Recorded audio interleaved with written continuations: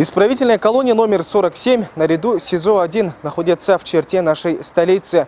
Если ранее при строительстве эти закрытые учреждения находились на окраине нашего города, то сейчас оказались в плотном кольце жилых застроек. В этой колонии лагерного типа общего режима свой срок за различные преступления отбывают чуть менее тысячи осужденных. За убийство, за кражу, за разбой и прочее. Однако преимущественно в ней находятся те осужденные, кому требуется регулярная медпомощь. Окна камер выходят прямо на жилые застройки, расположенные по соседству, а из этих домов, соответственно, отлично видно тюрьму. К примеру, жители этого дома ежедневно могут наблюдать, как автозаки привозят очередных заключенных.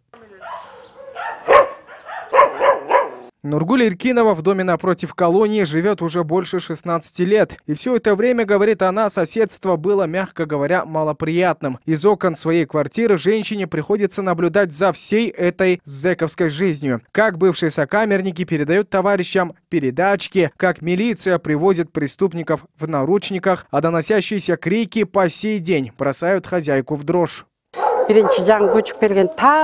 Два окна выходят прямо на тюрьму. Я сюда переехала жить 16 лет назад. Иногда бывает такое, что от криков, которые доносятся из тюрьмы, просто спать невозможно. Еще одна проблема – продать мы свои дома и переехать отсюда не можем. Никто не хочет покупать по цене, которую, например, я озвучиваю. Сразу говорят, да у вас же тут тюрьма, опасный район, никто не хочет жить рядом с преступниками. Сами взрослые у забора с колючей проволокой находиться не хотят, а детей погулять выпустить и вовсе боятся.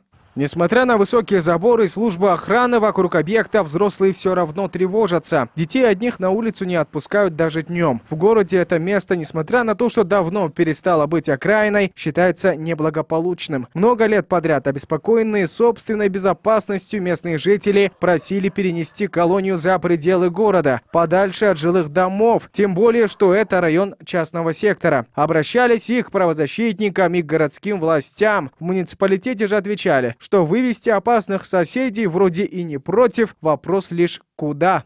Сейчас они хоть тише стали, ага. они сейчас тише стали. А знаете, что раньше было? Как было? Девочки идут в школу, они штаны снимают, на крыше залазят. А потом, когда нас мэр собирал, мы сказали, все, стала тишина. Пусть забирают, тюрьма здесь не нужна. Ну, стройка, говорят, откроется, я не знаю точно. Но есть и те, кто соседству заключенными относится куда более спокойно. По их словам, они уже привыкли за столько лет. Добавляют, что тюремная жизнь никогда за пределы не выходила и никого из окружающих не касалась. Этажки построят, я думаю, что здесь не очень-то веселее будет жить. Поэтому вот так спокойнее.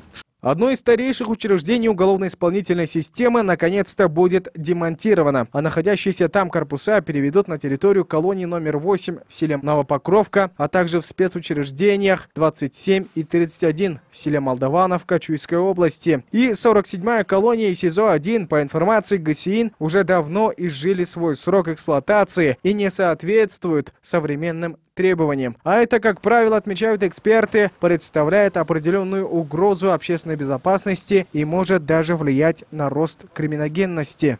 Работы уже начались. В настоящее время мы начали демонтаж старой инфраструктуры в учреждение номер 301, где планируем разместить центральную больницу.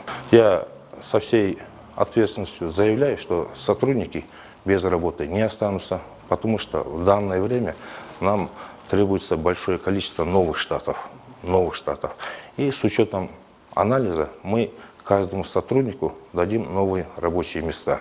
Сколько же денег выделено из бюджета на строительство новых зданий взамен существовавшим в 47-й колонии, в ведомстве не говорят. Ровно и о том, что будет построено на месте 47-й колонии. Есть предположение, что в скором времени здесь появится целый жилой городок. Однако, напомним, ранее сообщалось, что на этой территории в 7,5 гектаров появится международный деловой центр Бишкек-Сити. В декабре прошлого года Акылбек Джапаров утвердил положение о государственной дирекции по реализации этого проекта. Ну а что до нынешних заключенных, содержащихся в колонии 47, среди которых достаточно известных персон, их распределят по колониям согласно режиму содержания, который им ранее определил суд.